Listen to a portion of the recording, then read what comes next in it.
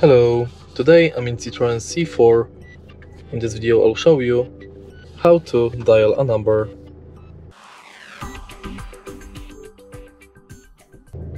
In the beginning let's take a look at the screen display, go to phone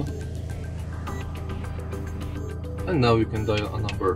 Of course make sure that your smartphone is connected with the car. Then simply press the green button. And that's it. If you find this video helpful, please leave like, comment and subscribe. Música